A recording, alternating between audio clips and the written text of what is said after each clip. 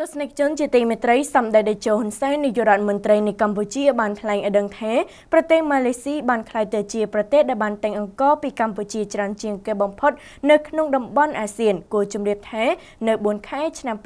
2019កម្ពុជាបាននាំចេញអង្ករទៅកាន់ទីផ្សារអន្តរជាតិបានជាង21ម៉ឺនតោនកើនឡើង8.31%បើធៀបទៅនឹងរយៈពេលដូចគ្នាឆ្នាំ2018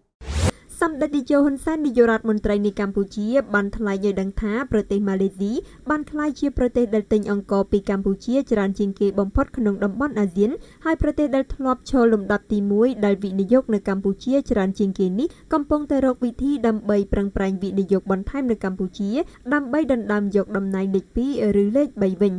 បច្ចុប្បន្នប្រទេសដែលវិនិយោគនៅកម្ពុជាច្រើនជាងគេគឺប្រទេសចិន ហើយក៏ជាប្រទេសដែលទិញអង្ករពីកម្ពុជាច្រើនជាងគេបង្អស់ដែរការថ្លែងរបស់សម្ដេចតេជោហ៊ុនសែនយ៉ាងដូចនេះត្រូវបានធ្វើឡើងក្នុងឱកាសដែលសម្ដេចអញ្ជើញជាអធិបតីប្រគល់សញ្ញាបត្រដល់និស្សិតផ្នែកសុខាភិបាលមកពីសាកលវិទ្យាល័យពុទ្ធិសាសសរុបប្រមាណ1356នាក់នៅព្រឹកថ្ងៃទី6ខែមិថុនាឆ្នាំ2019សម្ដេចតេជោហ៊ុនសែនបានថ្លែងយ៉ាងដូចនេះថាហើយខ្ញុំទៅលើការសង្ឃឹមថា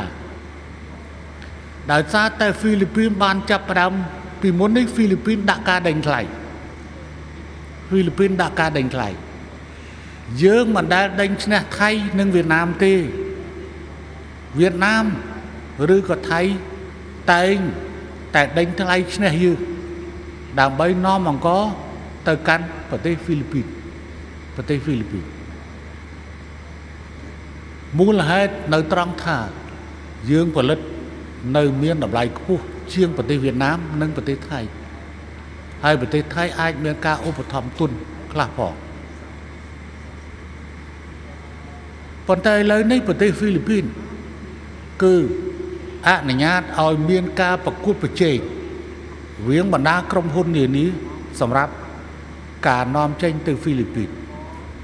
ហើយនៅប្រទេសម៉ាឡេស៊ី នៅប្រទេសម៉ាឡេស៊ីយើងបាននាំចេញច្រើនជាងគេទៅកាន់ប្រទេសម៉ាឡេស៊ីហើយថ្ងៃមុនខ្ញុំជួបអគ្គរដ្ឋទូតថ្មី គឺគោលដៅរបស់នាយករដ្ឋមន្ត្រីបច្ចុប្បន្នដែលអាដាមមហាធីមហាមេតត្រឡប់មកធ្វើជានាយករដ្ឋមន្ត្រីវិញក្នុងវ័យជាង90ឆ្នាំនោះឥឡូវដូចជា94 95 95ឆ្នាំម៉ាឡេស៊ីដាក់ចេញគោលដៅ ឲ្យមានការវិនិយោគព្រោះពីមុនកាម៉ាឡេស៊ីជាឈរលំដាប់លេខ1នៅក្នុងការវិនិយោគនៅកម្ពុជា តែឥឡូវម៉ាឡេស៊ីធ្លាក់ទៅដល់ទី6គាត់នឹងប្រឹងងើបឈរឡើងដល់កម្រិតទី3ឬទី2ទី2ដូច្នេះយើងក៏មានការពាក់ព័ន្ធជាមួយនឹងកង្ក្រៅពិតហើយស្រូវអង្គរបស់យើងប្រកួតប្រជែងឥឡូវប្រកួតប្រជែងបើក្នុង ក្របខ័ណ្ឌគេហៅថាអនុតំបន់មេគង្គអនុតំបន់មេគង្គផលិតដូចគ្នាទាំងអស់ផលិតដូចគ្នាទាំងអស់ម៉ៃយ៉ាម៉ាក៏ផលិតអង្គឡាវក៏ផលិតអង្គថៃក៏ផលិតអង្គវៀតណាមក៏ផលិតអង្គកម្ពុជាក៏អង្គអង្គដូចគ្នាអង្គដូចគ្នាអាហ្នឹងគឺប្រកួតប្រជែងគ្នាឯងនៅត្រង់នៅត្រង់ ប៉ុន្តែហើយក្រៅពីនោះមានឥណ្ឌាក៏ជាអ្នកនាំចេញអង្គធំដែរនាំចេញអង្គធំដែរតែសម្រាប់យើងចំណុចខ្លាំងរបស់កម្ពុជានៅត្រង់ថា យើងមានទីផ្សារដែលទទួលទិញដោយសារតែប្រទេសមួយចំនួន ត្រូវការអង្គរបស់យើងអង្គប្រទេសរបស់យើងមិនប្រើជាតិគីមីគេត្រូវការការផលិតដោយ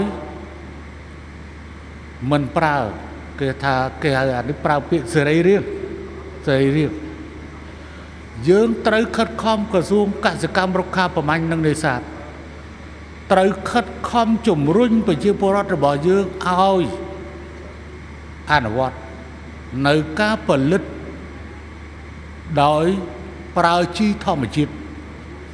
ជំនួសឲ្យការប្រើជីគីមី ដែលវាមិនមែនគ្រាន់តែជាបញ្ហាទីផ្សារខាងក្រៅទេក៏ប៉ុន្តែវាពាក់ព័ន្ធជាមួយនឹងប្រជាពលរដ្ឋរបស់យើងតែម្ដងក្នុងនោះបន្លែបកាអីនានាគឺធានាទឹកខិតខំយ៉ាងម៉េច ដើម្បីកុំឲ្យឲ្យប្រជាពលរដ្ឋរបស់យើងប្រើប្រាស់ជីធម្មជាតិហើយកាត់បន្ថយការនាំចូលនៃបណ្ដាផលិតផលដែលប្រើជាតិគីមី ដែលវានាំទៅដល់ការបំផ្លាញសុខភាព សម្រាប់ប្រជាពលរដ្ឋរបស់យើង របាយការណ៍របស់ក្រសួងកសិកម្មបានឲ្យដឹងថានៅរយៈពេល4ខែដំបូងឆ្នាំ2019នេះពលគឺចាប់ពីខែមករាដល់ខែមេសាប្រទេសម៉ាឡេស៊ីបានទិញអង្កររបស់កម្ពុជាចំនួន11291តោន បន្ទាប់មកប្រទេសប្រ៊ុយណេចំនួន9240តោន ប្រទេសវៀតណាម7413តោន ប្រទេសសិង្ហបុរី835តោន និងថៃ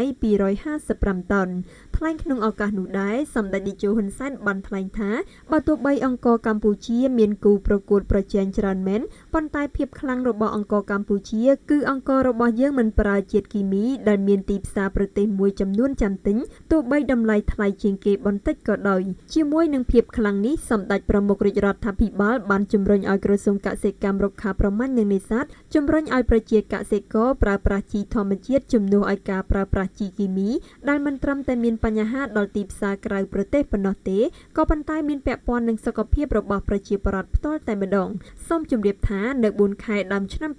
2019កម្ពុជានាំចេញអង្ករទៅកាន់ទីផ្សារអន្តរជាតិជិត70ប្រទេសបានជាង21ម៉ឺនតោនកើនឡើង8កដកសញ្ញា31%បើធៀបនឹងរយៈពេលដូចគ្នាកាលពីឆ្នាំ2018នៅឆ្នាំ2018កន្លងទៅកម្ពុជាបាននាំចេញអង្ករទៅកាន់ទីផ្សារអន្តរជាតិបានចំនួនជាង62ម៉ឺនតោន